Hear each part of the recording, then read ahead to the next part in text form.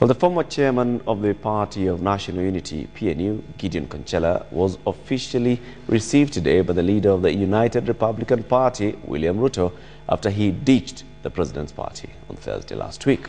Well, the Wiper Democratic Party, whose leader is Vice President Kalonzo Musyoka, was also a beneficiary of the ongoing party defections when it welcomed a section of councillors from Tana River County at the party's head office. On his part, the National Alliance presidential hopeful Uhuru Kenyatta was in Kangemi, Nairobi, where he urged the youth to be self-reliant while launching a motorcyclist purchase soft loan scheme launched by the Toyota Kenya for boda boda taxi operators.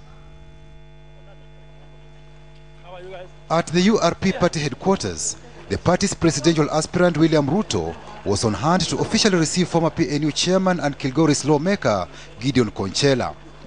Konchellah ditched the president's party last Thursday, a few hours after signing a pre-election deal with Uhuru Kenyatta's party, the National Alliance. The PNU-TNA agreement bars the president's party from fielding candidates for elective positions in the upcoming general elections under its banner. The merger deal directed all PNU supporters to register as members of TNA before the October 17th deadline. And as the deadline approached, Konchellah was at URP offices after signing a deal some political pundits argued signaled the death of the president's party. URP long welcomed in its party fold former chairman of the Wiper Democratic Party, Samuel Poghisio. And this is how Konchellah defended his action to ditch the president's party and pitch camp at URP. Leaders of substance, leaders who mean well for this nation, stand up to be counted.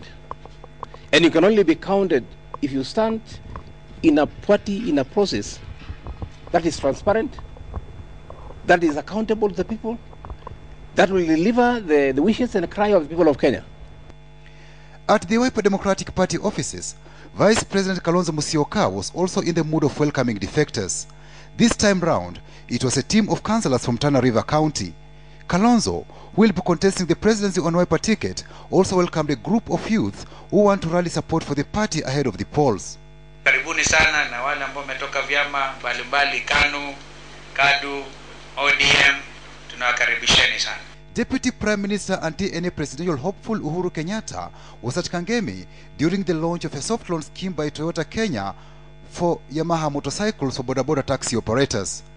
Uhuru urged the youth to buy the motorcycles where they'll be required to pay 350 shillings per day from their earnings until they clear the debt. Taifa letu la Kenya vijana ndio wengi, na bado vijana ndio wamebeba mzigo mkubwa, ndio wako na shida nyingi, na katikati ya mambo haya yote hawana kazi.